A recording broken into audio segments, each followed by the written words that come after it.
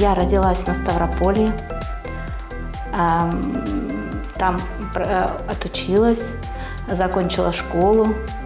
Э, мне очень хотелось э, стать медиком. То, чтобы стать врачом-педиатром, такого желания у меня особо не было.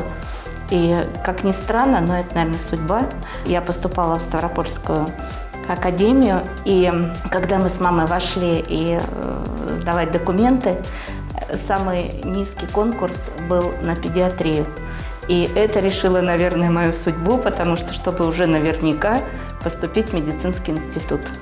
Отучившись два года, я вышла замуж. Муж у меня военный.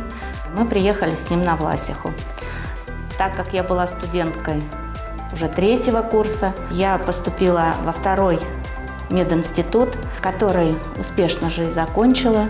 Тяжело было, так сложилась моя жизнь, что я пришла проходить интернатуру на базе Одинцовской областной больницы. Это было в 92 году.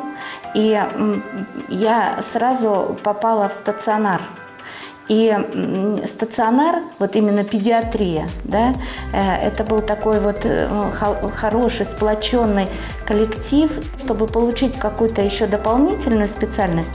Вот на тот момент у меня не было абсолютно. Именно то, что это была стационарная работа, это когда ты э, не знаешь, что тебя ждет вот завтра, послезавтра, что тебя ждет через каждые там пять минут, да, когда поступает тяжелый ребенок, и ты должен быстро сориентироваться и начинать ему помогать, да, вот это меня, конечно, захватило. И когда ты э, встречаешь этих детей, да, уже пройдя столько времени, они уже выросли, они уже стали э, сами родителями, они приводят сюда этих детей, каждый день вот это вот на них смотришь, да, и и думаешь, господи, ну надо же, такой маленький был.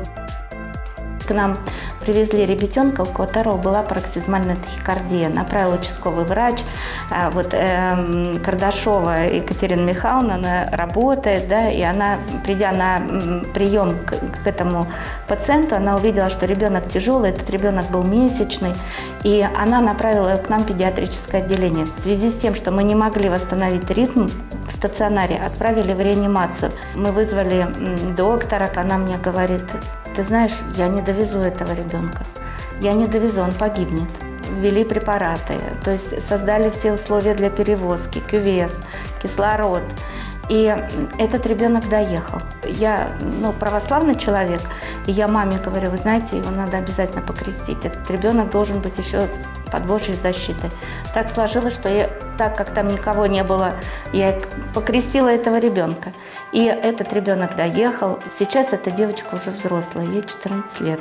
Я являюсь крестной мамой этого ребенка. Мы с ними встречаемся, мы с ними дружим. Проработав уже больше 35 лет в педиатрии, мне кажется, это самая лучшая специальность, которая есть в медицине.